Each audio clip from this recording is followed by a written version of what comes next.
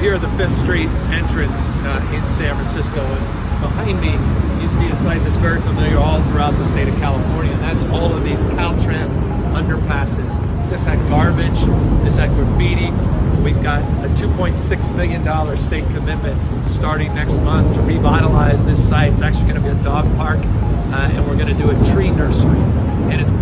A program that we're announcing today $312 million 126 projects like this to revitalize our gateways and open spaces in and around underpasses and overpasses all throughout San Francisco and the Bay Area and California in an effort to clean up this state.